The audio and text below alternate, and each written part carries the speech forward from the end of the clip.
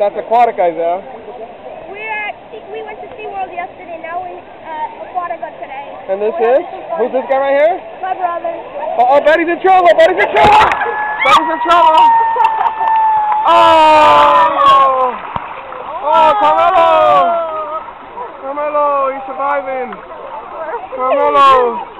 Carmelo! Carmelo!